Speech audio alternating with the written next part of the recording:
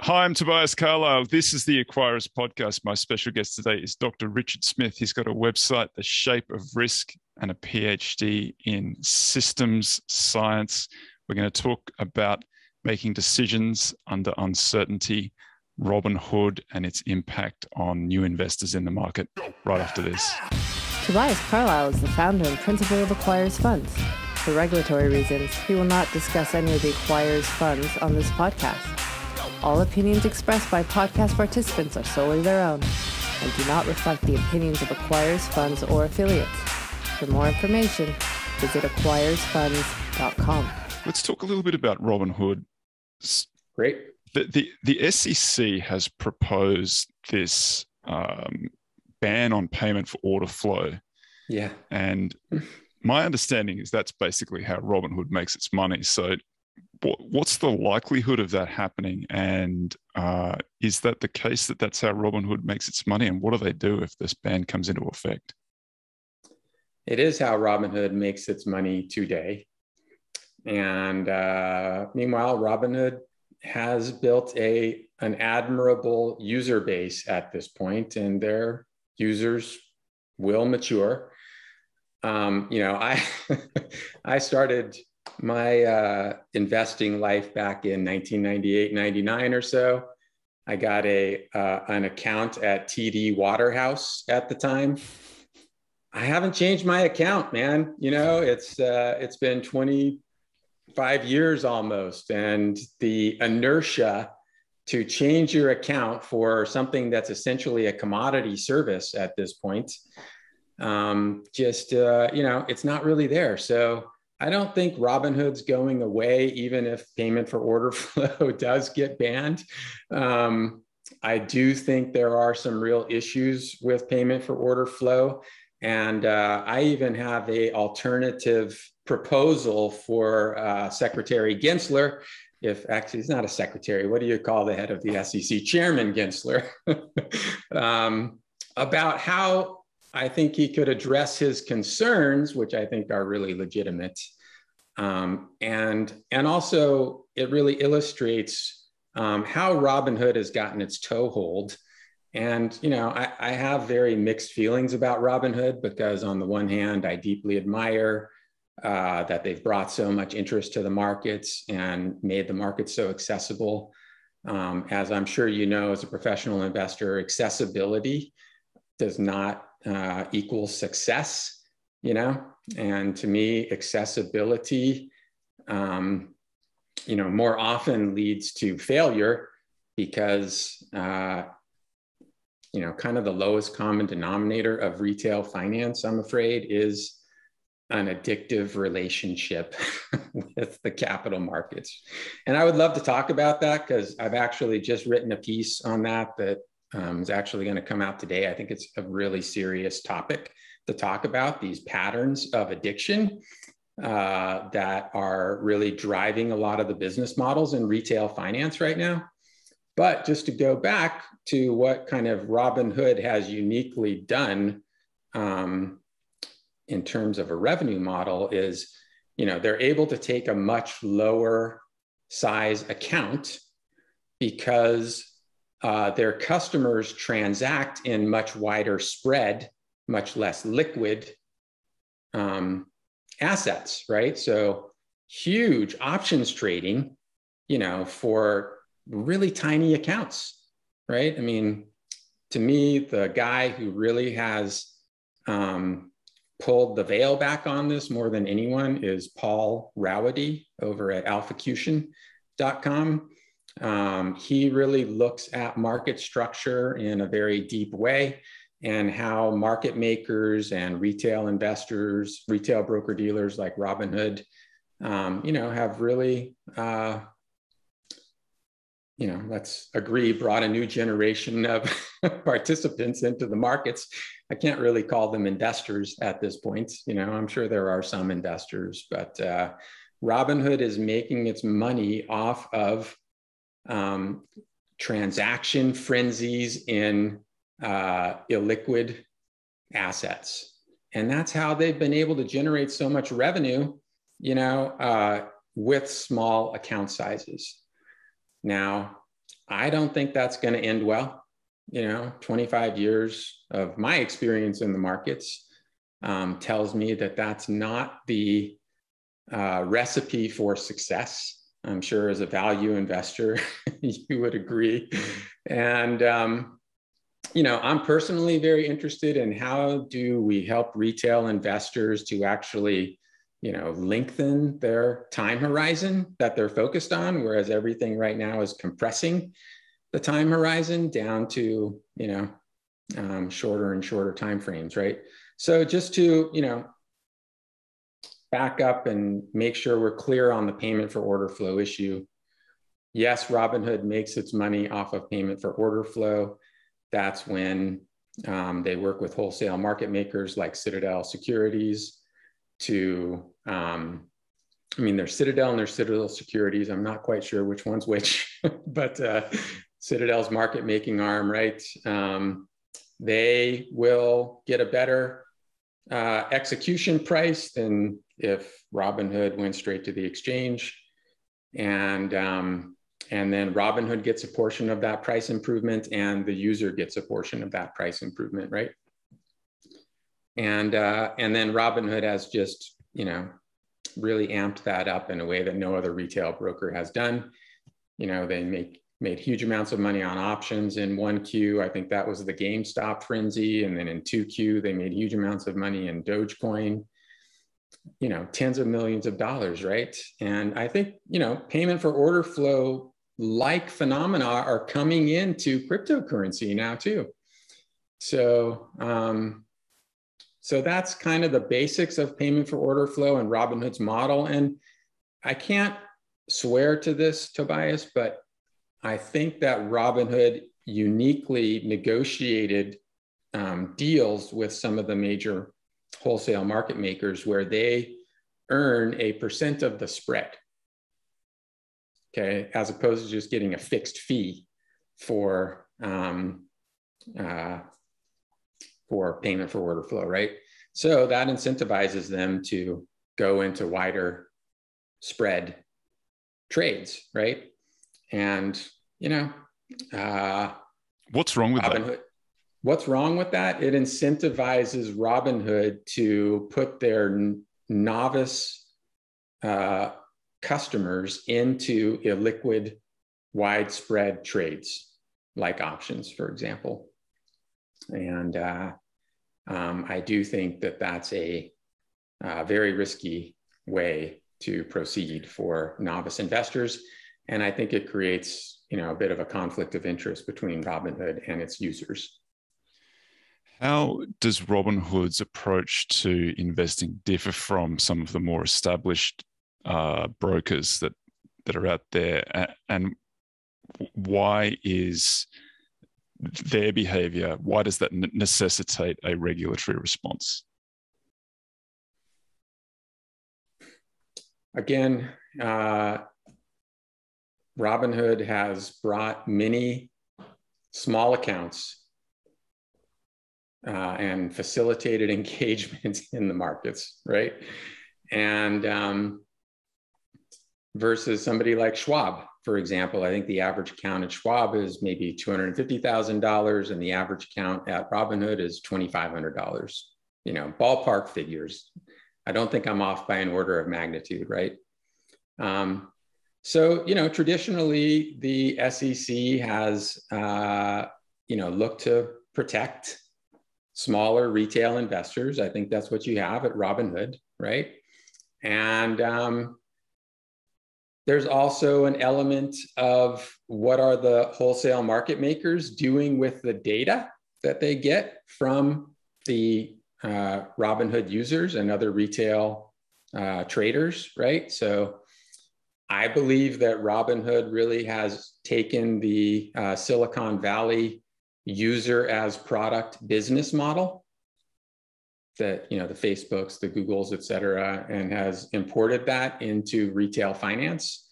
And that is done in collaboration with the market makers so instead of you know google and facebook might have advertisers that pay uh, you know to get the attention of the users of the platform right and google and facebook are incentivized to um, nudge behavior in the direction of their paid customers, right? They're paying customers, which are the advertisers. And I think that Robinhood is incentivized to nudge behavior in the direction of its paying customers, which right now are the wholesale market makers. Um, so, you know, I think that uh, we don't really get to see what the wholesale market makers do with that data, how they use it to, you know, make intelligent decisions in the markets. They're really in the business of risk management. Um, but, you know, I think they're getting value out of that data and that's why they're paying for it. So I do think that sets up a conflict of interest with Robinhood's users potentially.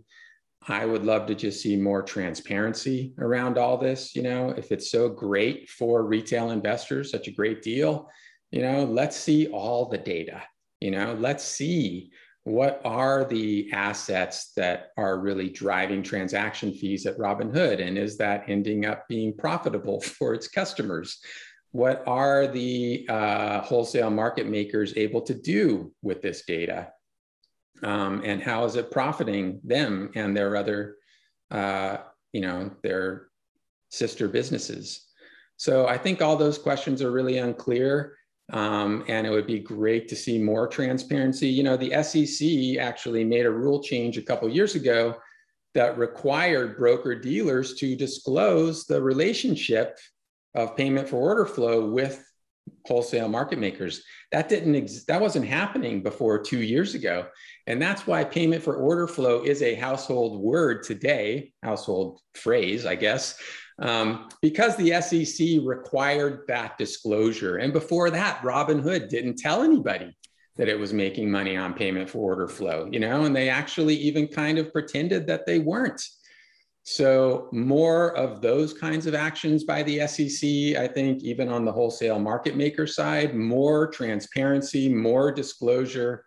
I think some things would come to light that in the end, you know, could help us all make better markets. It's such an incredible generational opportunity right now to engage a new um, generation of investors in the capital markets, hopefully for decades right? And not just up to a flame out like we had in, you know, March of 2000, right? And uh, which I, you know, am personally concerned uh, is an elevated risk right now.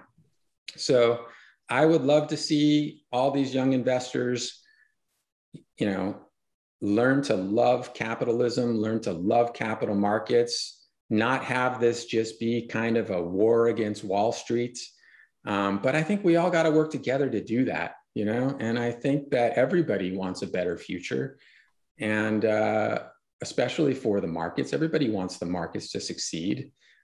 And you know, we only have ourselves to look at to solve this problem, you know. And uh, I'm I'm hopeful that we can when do I, something about it.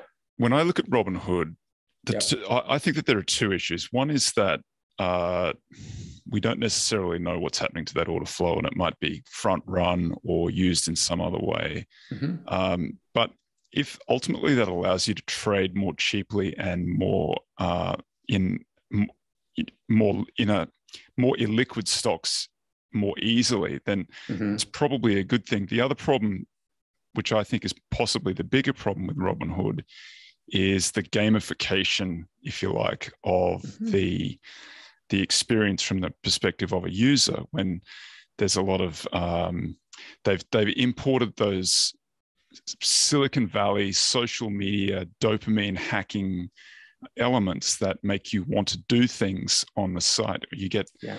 confetti going off, and they simplify the tra- the tra- you know an option trade. Even for experienced investors, is a reasonably complex thing. You've got to think about: Are you getting sufficiently compensated? On the volatility side. There are lots of other, you know, is the underlying where you want it to be? Will it end up being where you want it to be? And they, they've condensed all of that down into do you think the stock's going to go up or down? Or do you think the security is going to go up and down?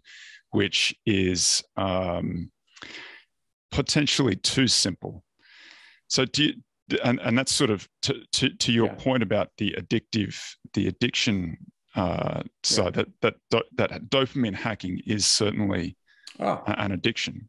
so I've just been finished up a book called Dopamine Nation. It's a new book out right now by Stanford uh, psychiatrist and you know director of the Medical Addiction Center or something like that, Dr. Anna Lembke. Uh, wonderful book. Not a lot of behavioral finance in it, but she does talk about um, some research around gambling, for example. And so, you know, the, the four the four things that really trigger uh, dopamine release in the brain, right? In the neurotransmitters, one is um, getting a reward, right? So, uh, two is anticipating a reward. we're doing that all the time, right? Uh, every time we look at the screen, you know, we're thinking, oh, am I going to get a reward, right? Even if it's just a temporary paper reward, right? The market's up today, my portfolio's up today, whatever. Um, and then uh, three, another one is that if it's a rich, complex environment with lots of learning opportunities, that's another thing that elevates dopamine levels. Okay. So, I mean, you can spend your life learning about markets, right? that is a rich, complex environment that you can, you know, learn a lot, right? And then the fourth one that really was uh, particularly relevant is that um, if the if the environment is highly randomized, okay, if it's really like 50-50, that's the maximum situation where dopamine is released you know in your attempts to one anticipate reward and try to solve for reward right? So and that actually ends up in in gamblers it produces what's called loss chasing okay? So you know you actually enjoy losing for a while because of the thrill of you know the outsized thrill you're going to get when you finally get that reward right Meanwhile, we know, you know, markets don't tolerate loss chasing indefinitely, right? As uh, John Maynard Keynes said, uh, markets can remain irrational longer than we can remain solvent. You know, risk of ruin is uh, is a big issue, and it it it does eventually catch up with loss chasers. So all these things are going on in the markets, and they're creating a very, you know, addictive relationship with our screens and with the markets, the presence of dopamine, you know, is an indication of an addictive experience, whether it be drugs um, or, you know, retail financial markets. So all of that is going on. Um, you know, going back to my uh, wish for transparency, if Robinhood would disclose, you know, what they're gamifying and you know what they're making money on um, i'm pretty certain that we'd find a correlation between those things. I thought you were going to quote the uh, the Keynes quote where he says, um, "Investing is intolerably boring to those who don't possess the gambling gene." But you know, if you i do, did then quote you have that to. in my article that'll come out uh, later today if you do have, possess that propensity, you have to pay the toll or something like yes that. I've, you I've mangled do it. you do and and you know it's fine if you say hey here's my play money this is entertainment i'm gonna pay the toll right but that's not really what most people do It's not investing. It's it's not entertainment. investing no it's not you know and to say that access to markets equals investing which is what the robinhood pr machine says over and over again is really disingenuous you know? It's really disingenuous and it's really setting i think a generation of investors up for potential catastrophic failure. To what extent do they have an obligation to those investors to ensure that they have some success in the markets? And to what extent are they just facilitating a transaction? Well, um, I wish I knew. You know, on the one hand, I do uh, believe that um, the founders really did set out with an aspiration to democratize investing. Um, I think that like anyone who's running a business, you know, you do end up having to uh, um, not be entirely idealistic at some point to generate a profit, right? Um, and then I think that they got swept up in, you know, a bit of a um, unique situation with COVID and everybody all of a sudden taking an interest in retail finance. And, you know, uh, Mr. Tenev even, you know, admitted recently, like, hey, you know, uh, we didn't have all our ducks in a row to, you know, really take on this level of responsibility. So, you know, I do sometimes hear him talk about uh, really being in this for the long haul and wanting to encourage long-term participation in the markets. Um, but when I see, you know, the quarterly uh, statements come out and I see all the revenue from meme stocks and Dogecoin and GameStop and AMC, and I see the research of Paul Rowady over at Alphacution, you know, showing how this data is being used to put together market structure and, you know, market uh, forecasting by really sophisticated players.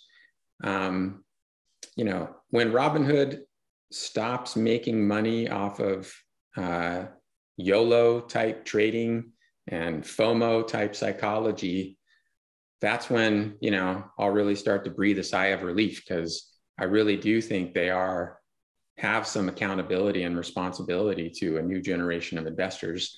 And it's quite an opportunity for them, you know, if they can if they can think in terms of a decade instead of quarter to quarter, man, they're in the catbird seat, you know, and uh, there's an incredible opportunity. So maybe now, you know, they've gone public, they've gotten through the phase of having to kind of, you know, make whole their original investors, and and uh, hopefully they can do something positive uh, from here on out.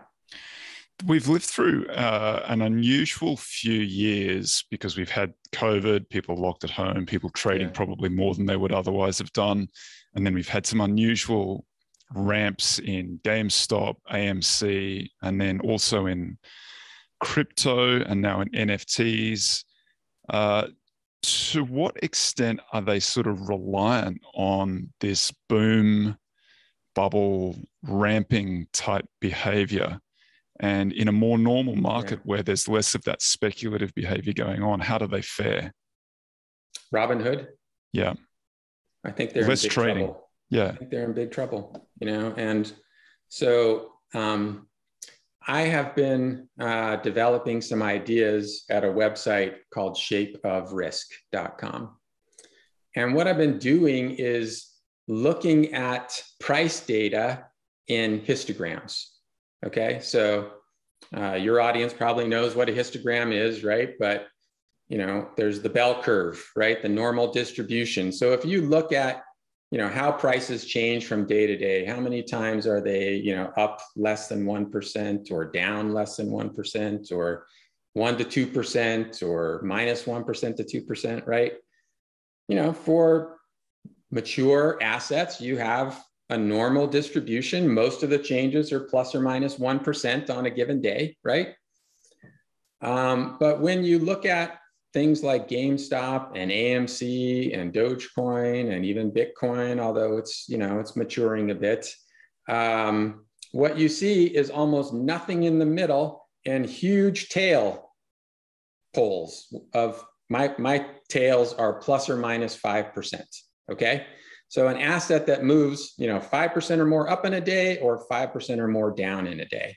Okay, so when you look at AMC Entertainment, for example, you know, over the past year, it's nothing but two big pulls at the end every day. It's up plus or minus five or down 5% or more, right? This is going back to what triggers that maximum dopamine release, right? That is the equivalent of randomness. That's the equivalent of a coin flip. It's an environment that your brain can't make sense of.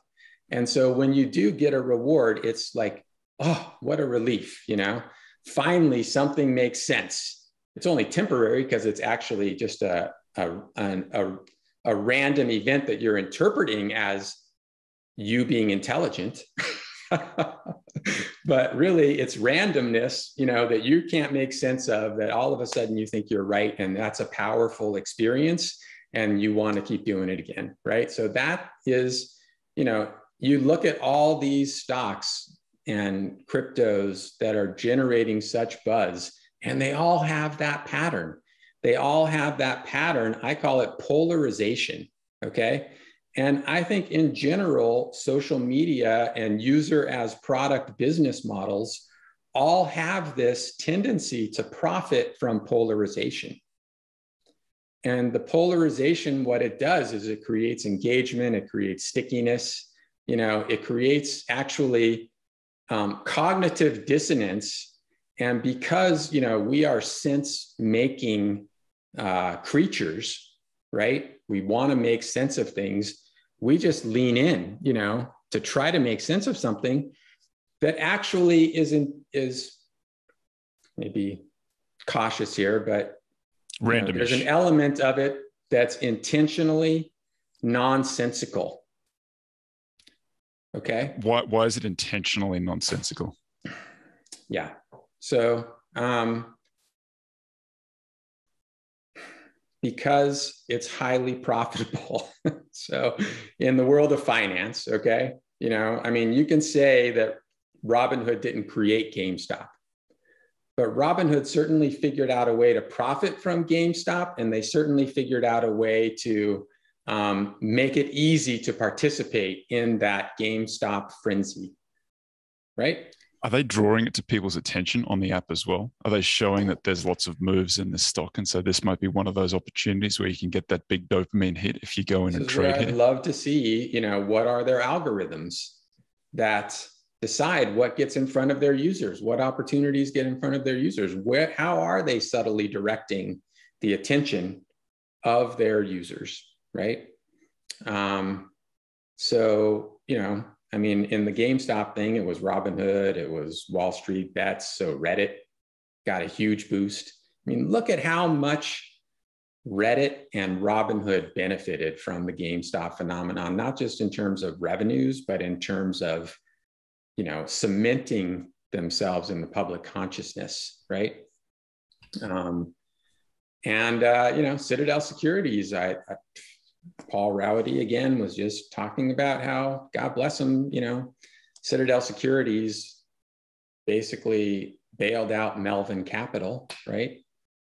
Um, well, you know, there's there's a pretty compelling narrative of why that was actually really good thing to do for their risk book, given you know the position they had gotten into with GameStop of one, you know, having to sell put options you know, or take the other side of the call options, right?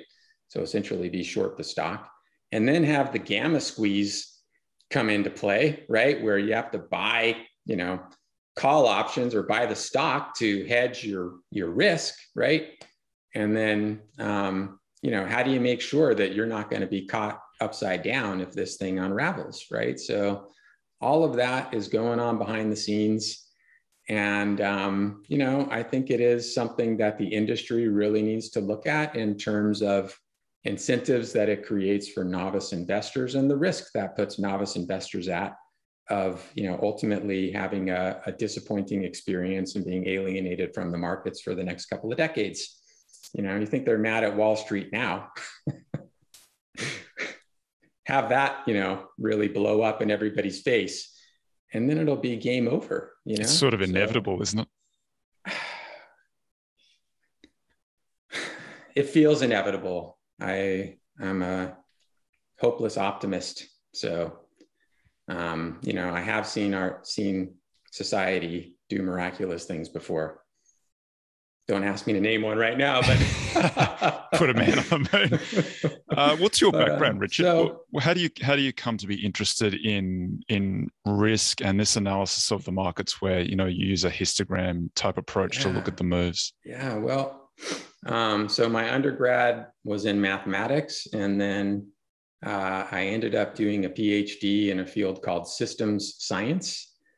And, um, but my focus was on um, decision making under uncertainty and using probability and information theory to um, help people be more help at that point researchers and scientists actually be more honest about the uncertainties in their models and not you know put um, premature assumptions in there that then propagated you know throughout the system and led to some you know poor policy choices so uh, you know i've always been fascinated by human psychology i love math and computers and human behavior, right? So, um, so you know, it was natural, and it was also, you know, I finished my PhD in 2000, so uh, I was in the markets like everybody else was, right?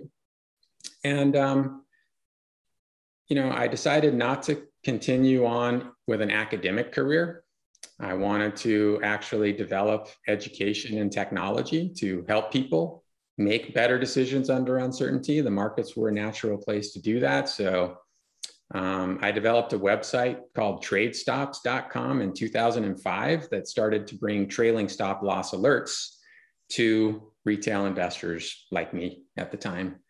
And um, it actually, you know, was something that the brokers didn't offer at the time. And if they did offer it, then you know, you could only keep your alerts in the market for 60 days or so, and you didn't even know if you were kind of giving visibility to the market or not. So that business grew, and uh, you know, and eventually I really connected it to behavioral finance and to the work of Kahneman and Tversky and Richard Thaler and loss aversion, right? Nobel prizes in economics because we hate to lose, but that loss aversion, the fact that we hate to lose, manifests itself differently when we're losing on a position versus when we're winning on a position.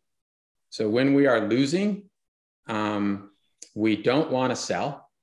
In the words of Daniel Kahneman, we are risk seeking when we're losing.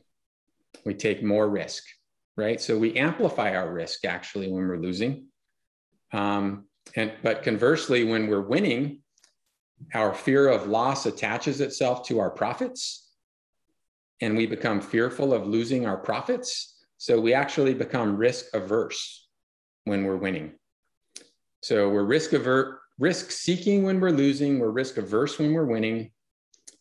Uh, the only thing that academics and technicians agree on is that markets manifest momentum, right? So things that are going down tend to keep going down things that are going up tend to keep going up. And uh, so, you know, you have this recipe for um, chasing losses, right? Being risk seeking when you're losing until you finally throw in the towel because you can't take the pain anymore. You end up with a 90% loss. Well, to make up a 90% loss, you have to have a thousand percent gain. Okay. It's not just a 90% gain, it's a thousand percent gain. You need 10x, right?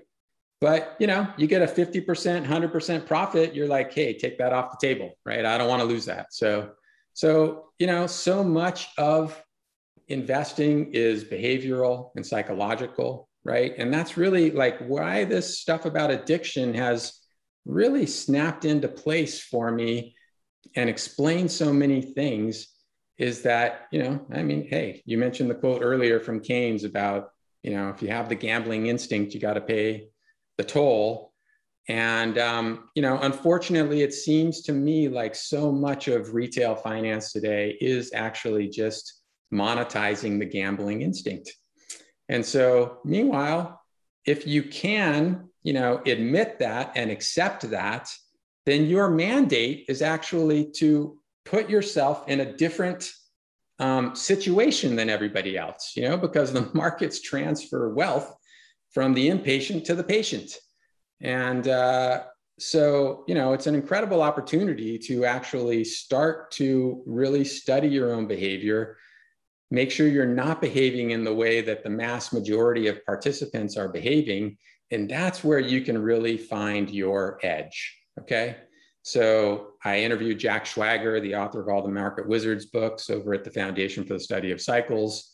And um, and you know, you ask Jack, what's what do all the market wizards have in common?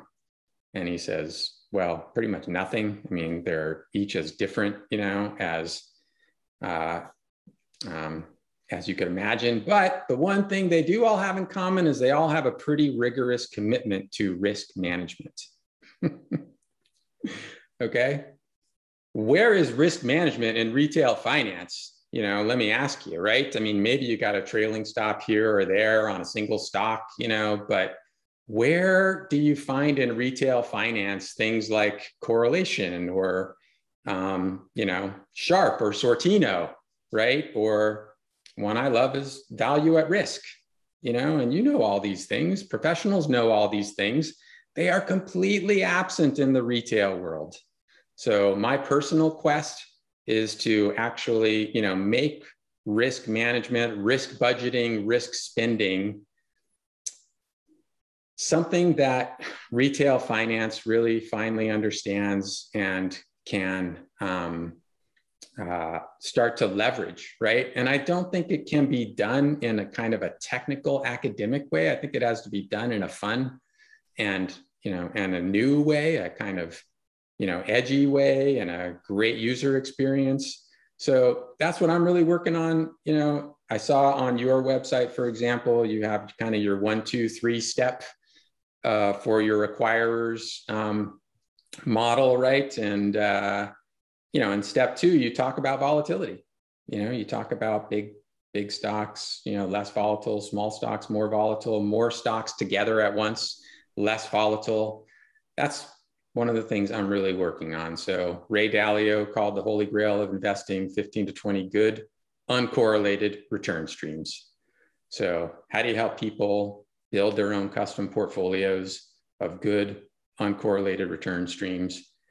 How do you help people you know, understand that, you know, you can uh, have some influence over volatility by structuring your portfolio in a certain way and you can budget your risk and then you can go spend that risk in a way to maximize reward. How do you and that's achieve a totally that? different way of thinking about, you know, what investing is, right? Than uh, YOLO and, you know, take down the man.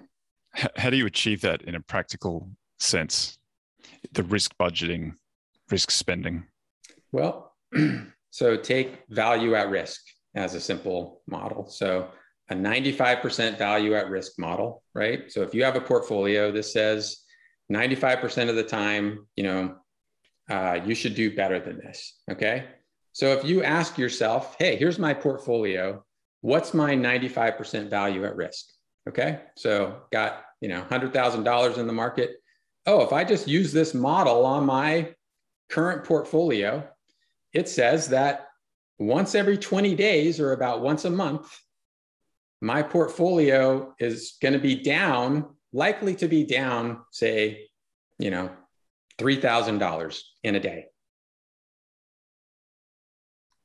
That's a good number to know, right? So to go in, look, say, you know, hey, once a month, I should expect to open up my app and see my 100 grand portfolio down by 3%.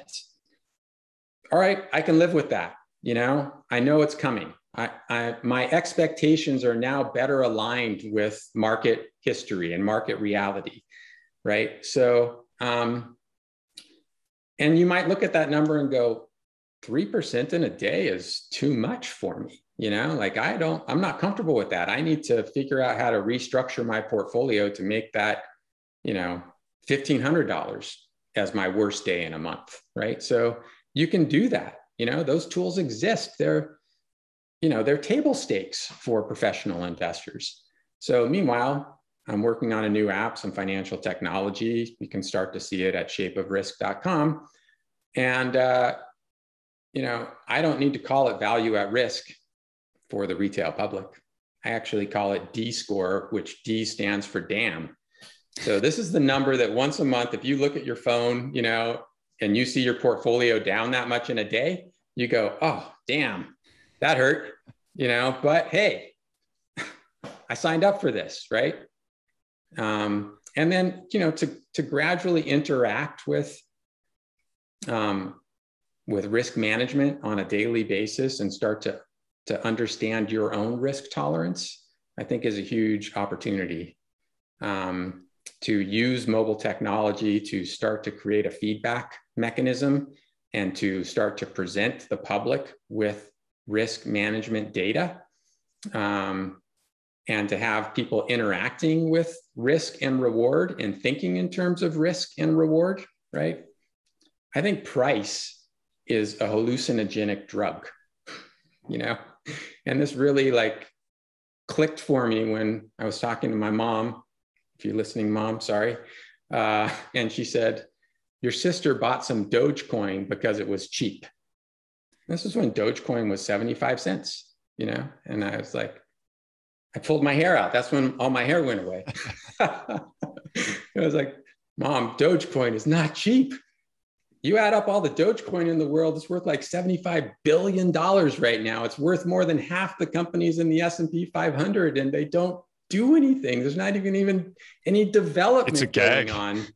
You know, so look, I love the community. I love the spirit, you know, I love the camaraderie, but that doesn't add up to $75 billion of value. And just because a Dogecoin costs less than a dollar doesn't make it cheap, right? So that kind of thinking is really, um, you know, I, I think hallucinatory is an accurate description, right? So, how can we kind of get people away from price, start to look at things like risk and reward, um, and uh, do some risk budgeting, and then use correlation to um, spend their risk more effectively and ultimately create a shape of risk that works for them. One of the problems with value at risk and um, you know option pricing is that we make that simplifying assumption that it is a normal distribution.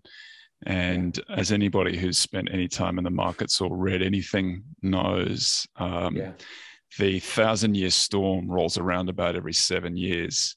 Yeah. And the the the technical term for that is the tails are leptokurtotic. They're fat tails. There's more probability distribution in the tails than we understand. And the difficulty might be for people who've been in the market for one or two or three years is that that feels like a long period of time in the market. Yeah. But it's difficult to conceive of these gigantic moves, these gigantic waves that come through until you've seen them. Yeah. And uh, that really is that very remote, unlikely thing. It only happens yeah. a handful of times in a decade, but it is the the the thing that really destroys portfolios, particularly because it's people see that wave for the first time and then they never want to get back in the water. Yeah, and again, you know, uh, whether or not you can uh, manage that wave has to do with the level of risk that you're taking in the markets, right? You have to model for that. You have to say, you know, am I okay with this falling 50%, 60%? If you're not, you know, you really shouldn't be in the markets. So that brings me back to my proposal for uh, for Gary Gensler, right? So instead of banning payment for order flow, let's take on the more volatile, you know, widespread instruments. Let's take a portion of that spread, okay, let's take a portion of that price improvement and put it into an educational fund. I see, you know, online investing today as being a lot like smoking 30 years ago, right? We know it's got pitfalls, we know it's got problems. We don't want to, you know, crimp people's freedom and, you know, regulate away freedom, regulate away markets, but we do have an obligation to really educate people about exactly that kind of thing, right? So, you know, don't ban payment for order flow. Let's, I, I like to use inverse, inverse volatility, right? I mean, if there's price improvement on, you know, S&P 500 stocks, you know, you don't need a kickback for that. But when, but uh, if it's, you know, penny stocks, options, you know, more volatile stuff, that tends to be the stuff that triggers addictive interactions with the markets, you know, let's take a portion of that, put it into an educational fund, and really have a campaign to educate, you know, a new generation of people about, um, what they can do if they're in these markets for 30, 40, 50 years, you know, in an effective, intelligent way. And if they start now, what could that do for them? Right. So I think there's such an opportunity there. I don't want to just preach to the younger generation and say, you know, hey, you dummies, because that's not what this is about. I think they're incredibly smart. Um, and, uh, you know, but they are young and we were all young once and we know what that feels like, you know? So, you know, let's work together to really educate a new generation of investors.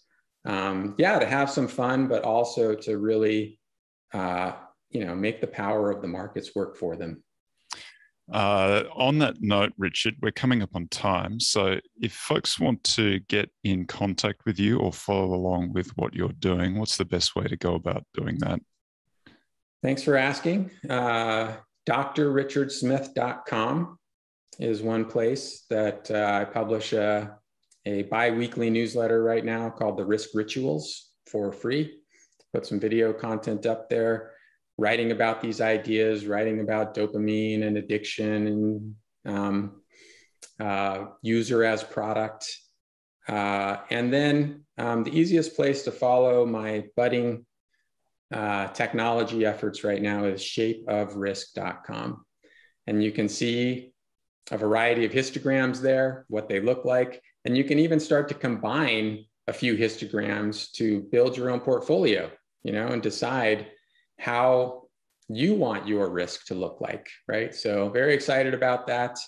Um, people have been checking it out and giving me great feedback, and uh, ultimately working on building a place that, you know, do-it-yourself asset managers. And I think in some ways we're all being we're all asset managers today, and I think the whole concept of what an asset is is really expanding dramatically from the availability of data decentralized finance, et cetera, right? Um, tokenization, I think all those things are really expanding um, what we consider an investable asset. And uh, so I'm building tools to help people really uh, embrace asset management in an intuitive way, um, not just in equities and cryptos, but even beyond. Well, thank you very much for your time, Dr. Richard Smith. Thank you, Tobias. It's been great speaking with you.